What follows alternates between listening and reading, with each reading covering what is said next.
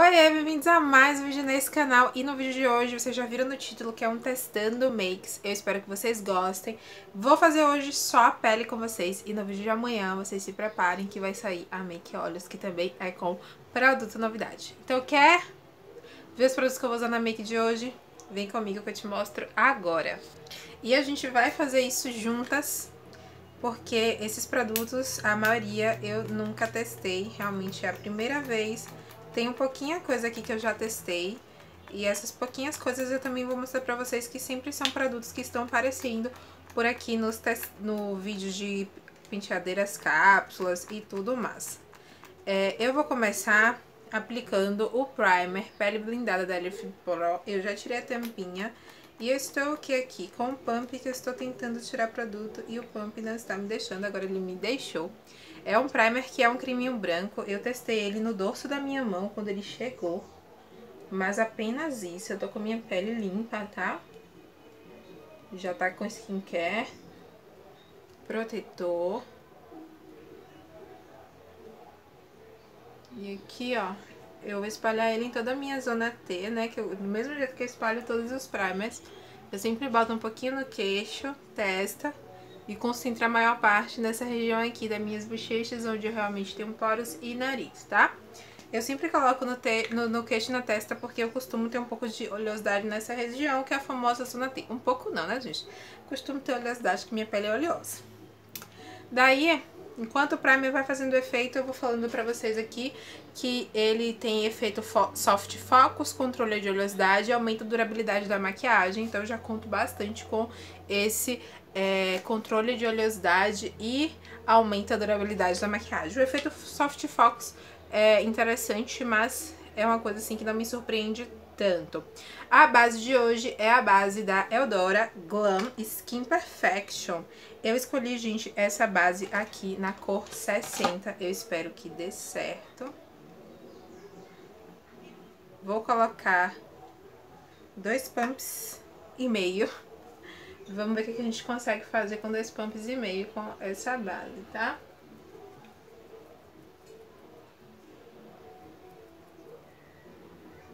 Eu tô achando que a cor dela tá ok pra mim. Eu achei que ia ficar escura.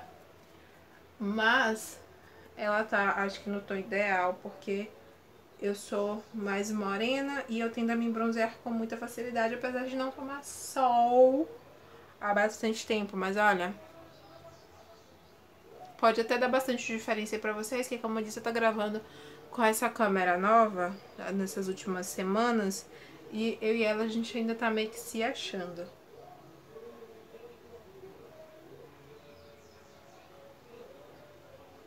Mas a base tem uma cobertura muito bonita. E é uma cobertura que, pra mim, é de média a alta, tá? A base diz aqui que é, a marca diz que é uma base de alta cobertura.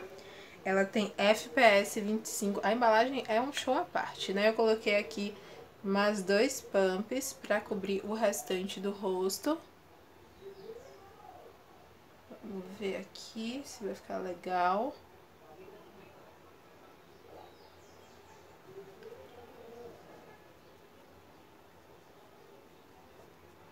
Olha que cobertura bonita. E olha que viço bonito também.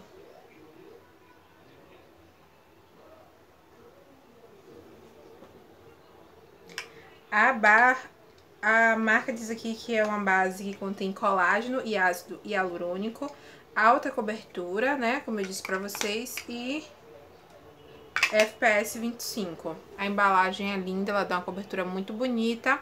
Eu ainda vejo uma manchinha que eu tenho aqui, que é a minha manchinha mais escura no momento. De resto, está tudo muito bem coberto. Fica uma cobertura realmente muito bonita, tá? Vamos de corretivo. Corretivo eu não tenho nenhuma novidade, novidade. Então eu vou usar esse aqui, o Studio Fix da MAC. Esse aqui é o líquido 24 horas. Passa aqui um pouquinho. Região de zona T pra iluminar. E região das olheiras também para iluminar. O que eu não falar de cor, gente, não se preocupem, vocês sabem que eu sempre deixo na descrição do vídeo. Se vocês não sabem onde é a descrição do vídeo, vai na setinha que vocês vão achar a descrição do vídeo. Eu costumo deixar todas as informações, sejam produtos que eu estou citando, ou quando é testando make, fazendo uma make, o produto que eu estou usando nessa make. Geralmente se é make com uma marca só e é testando novidades, eu coloco lá os produtos novidades que eu estou testando. Às vezes eu coloco os novidades e os outros produtos que não são tão novidades assim. Mas eu costumo deixar todas as informações no box de descrição, bem como vídeos relacionados. Então, se quer ver outros conteúdos parecidos com esses aqui do canal, vai na setinha para baixo que vocês também terão acesso a outros vídeos relacionados, outros vídeos de maquiagem, outros testando makes e muito mais, tá? Daí, como pozinho para a área das olheiras, eu não tenho novidade, então eu vou usar velhos conhecidos de vocês, como o meu pó banana da linha RK by Kiss Retoque Nunca Mais. Essa semana eu tô usando esse pincelzinho aqui da Ruby Rose. Não é o meu favorito para usar este pó. Ele é favorito para usar pó solto. Pó compacto ele não é favorito. Mas como é ele que tá aqui entre os pincéis separados, eu já tô o? Usando ele mesmo. Daí, como ele é um pouco mais branquinho, eu vou dar uma neutralizada com o pó da mais vaidosa, tá? O banana, que o da mais vaidosa, ele é muito mais amarelo, tá? Então, eu venho aqui, coloco uma quantidade, tiro o excesso na tampinha e dou batidinhas. E depois eu já tiro logo esse excesso aqui, tá? Feito isso de um lado, faço o mesmo do outro lado. E deixo aqui, depois eu varro tudo com pincelzão de pó. Daí, hoje eu quero testar um blush líquido com vocês. E o blush líquido que eu quero testar hoje é o BT Plush da Bruna Tavares, né? Que ele pode ser usado como blush ou como batom. E eu vou usar ele como eu costumo usar todos os meus blushes, gente. Eu vou primeiro no pincel, porque eu tenho um certo medo, né? Pincel. A pele não tá selada do restante do rosto.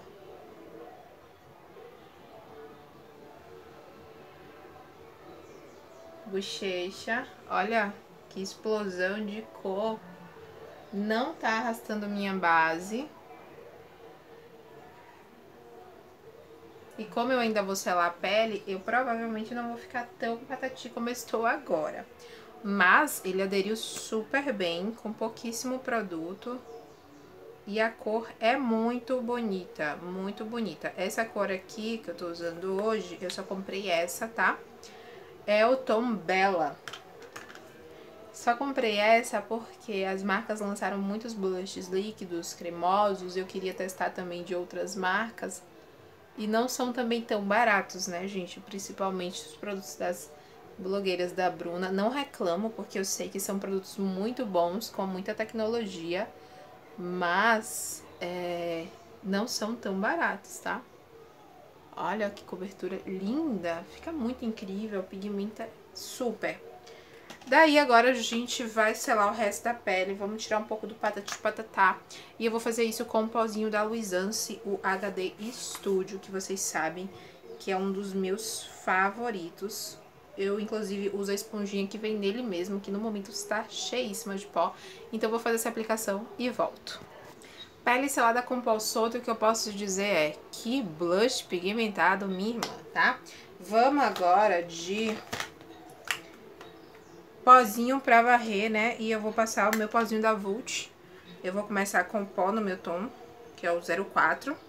Que vocês sabem que ele está o quê? No Project Pan, pra ser finalizado.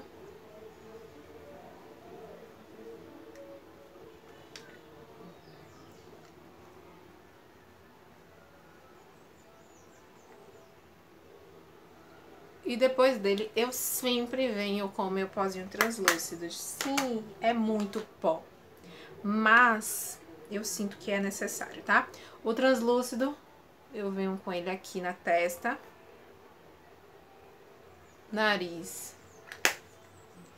E eu aproveito e já varro tudo aqui.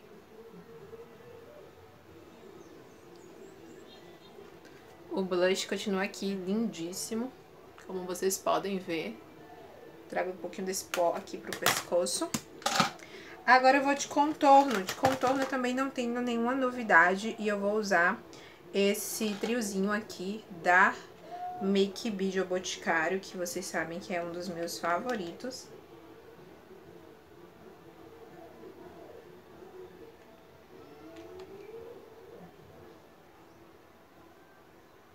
Ele não é tão escuro, então eu tenho que dar uma caprichada pra que ele dê uma parecida aqui no meu tom de pele, mas eu amo, ele é muito incrível. Porque ele esfuma muito bem, não me deixa toda marcada.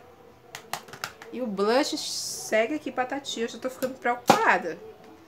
Daí, eu vou testar um iluminador em creme. Eu vou testar o iluminador da Mari Saad na cor Gold. E eu vou vir também com o meu pincelzinho, gente, porque eu gosto de passar tudo no pincel e do pincel transferir pra minha face, tá? E sim, ele é lindo e sim transfere partículas de brilho bem lindas.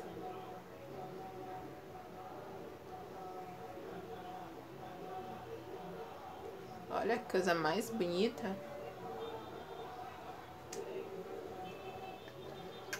Feito isso, eu vou de bruma. E eu nem mostrei, mas essa bruma aqui, ela é uma novidade também, tá? Por aqui, que é, ó, muito perfumada, gostosa. É a bruma protetora da Disse Berenice. E pra finalizar essa make da pele, eu vou usar com vocês esse Dual Bronze aqui da Rafa Kalima. Com quem disse Berenice, eu vou aplicar esse lado aqui bem brilhosão pra completar aqui este iluminado, tá? Porque o da... Ele vai potencializar e vai fazer com que dure mais. Olha só que coisa mais linda.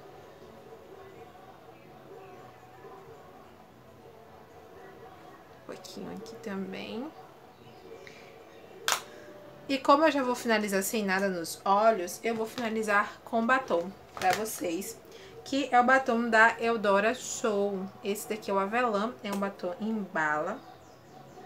Ele é um batom cremoso, tá? Só que eu vi algumas resenhas onde mostra que os batons em os batons mates, eles são opacos apenas. E também transfere. E eu gostei muito desse tom.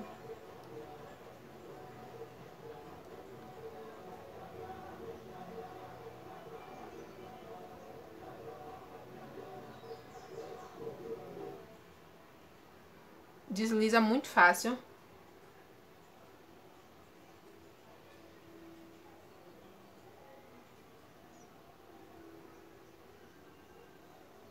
Precisa ter até um pouco de cuidado.